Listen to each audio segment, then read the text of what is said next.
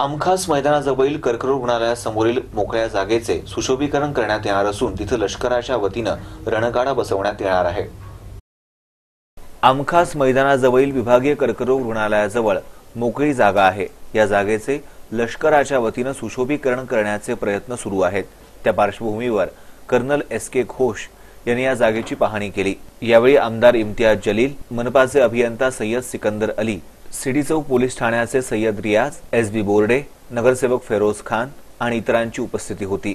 Colonel S B बोर्डे यांना ही जागा पसंत पडली असून इथं वॉर्ड ट्रॉफी उभारण्याच्या दृष्टीनं लवकरच केंद्रीय अधिकाऱ्यांशी संपर्क साधू असं त्यांनी सांगितलं. औरंगाबाद शहर में जो आर्मी की जो टैंक्स होती है, वो टैंक्स कुछ औरंगाबाद में आने वाले हैं और हमने यहाँ के जो कमांडेंट साहब है ब्रिगेडियर साहब, उनको रिक्वेस्ट किए थे कि एक टैंक जो है वो हमारे औरंगाबाद शहर में मेरी कॉन्स्टिट्यूंसी के अंदर लगाया जाए। उसका इंस्पेक्शन करने के लिए यहाँ पर उनके तरफ़ से टीम आई हुई है कर्नल साहब है, कि हम देखना चाह रहे हैं कि ऐसा कौन सा लोकेशन है जहाँ पर ये एक, जो फ़ौज का एक बहुत ही एक अच्छा हिस्सा है, जो आम लोग देखे और उससे प्रेरणा ले।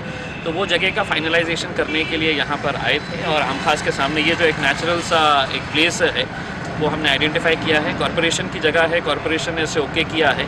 लेकिन आर्मी ऑफिशियल्स का कंफर्मेशन मिलना ज़रूरी है क्योंकि उसके कुछ स्पेसिफिकेशन होते हैं कि जगह कैसी होना चाहिए, कहाँ पर होना चाहिए।